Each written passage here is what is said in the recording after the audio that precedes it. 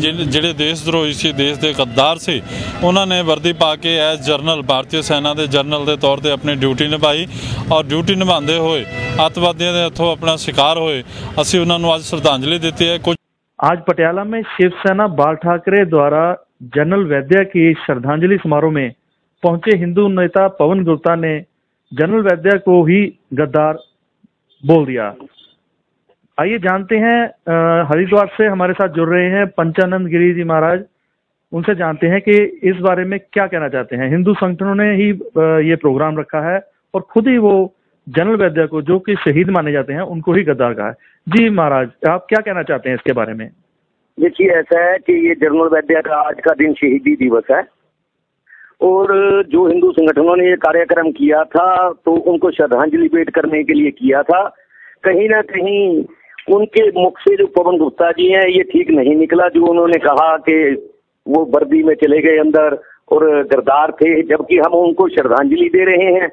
ये कहीं ना कहीं उनके मुख से जो निकला, उसके लिए उन्हें क्षमा मांगनी चाहिए, क्योंकि ऐसे शहीदों को हमारा बार बार नमन है, जिन्होंने देश के लिए अपनी जानें बार दी अगर उनके मुख से गलती से निकला है तो वैसे तो सोच समझ में बोलना चाहिए इंसान को, क्योंकि हम इतना बड़ा कार्यक्रम है श्रद्धांजलि समारोह कर रहे हैं, उन शहीदों को नमन कर रहे हैं, और दूसरी तरफ़ हम उन शहीदों को ही ये शब्द हमारे मुख से निकल जाए तो उनकी शहादत का, उन शहीदों का अपमान है। इसलिए तुरंत उन्हें अपनी इस गलती को सुधारते हुए क्षमा मांगनी चाहिए।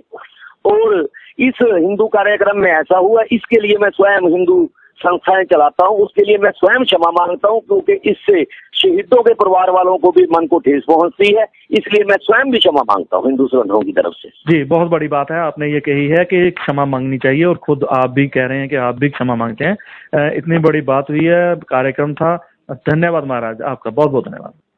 ये थे हरिद्वार से पंचानंद गिरी जी महाराज, अब हम जुड़ गए हैं फ़ोन लाइन पर, पवन गुप्ता जी से, जो शिवसेना हिंदुस्तान के प्रभारी हैं। इस पर चर्चा करने के लिए बताएँगे कि आज जो हुआ है वहाँ पर कार्यक्रम में कैसे ये उन्होंने शब्दावली प्रयोग किया जी, पवन गुप्ता जी, बताइए जो आपने ये शब्दावली का इस्तेमाल किया है, क्या ये कोई गर्मी की वजह से हो गया है गलत बोला गया या क्या आप कहना चाहते हैं इसके बारे में? नहीं नहीं, किसी गर्मी की वजह से नहीं हुआ।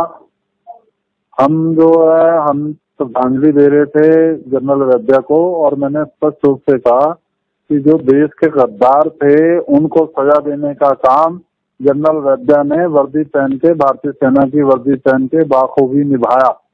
और इसी के कारण उनके हाथों आतंकवादियों और देश के गद्दारों के हाथों उन्होंने शहीदी प्राप्त की और उन्होंने भारत देश की सेवा की है।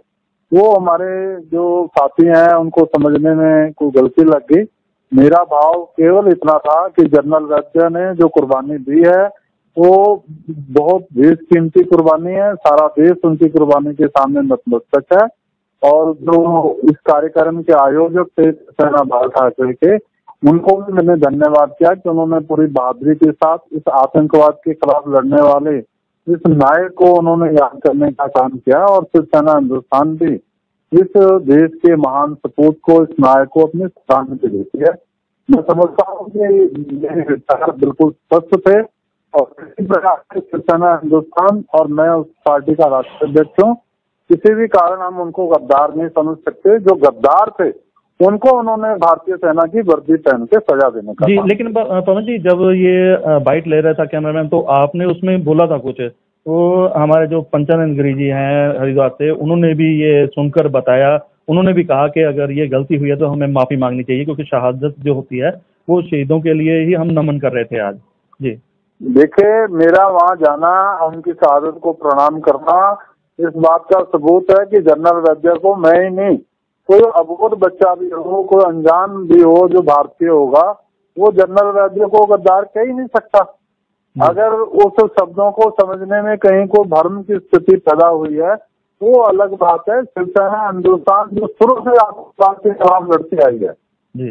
खुद ब्लू स्टार समाज के खिलाफ जिन शिवसेना हिंदुस्तान ने अमृतसर में लगातार रैली की हो वो शिवसेना हिंदुस्तान जिन्होंने बिंदाले का चित्र दरबार साहब में लगाया गया उसके खिलाफ अपनी आवाज़ बुलंद करके जेलों की यात्रा की हो वो कैसे जनरल वैद्य को गद्दार और देश विरोधी कह सकते। धन्यवाद धन्यवाद। समझ गए हम। पवन गुप्ता जी कह रहे हैं कि जो शब्दावली है उसका गलत मतलब निकाला गया है ऐसी कोई बात नहीं है। जी धन्यवाद दीपक जी।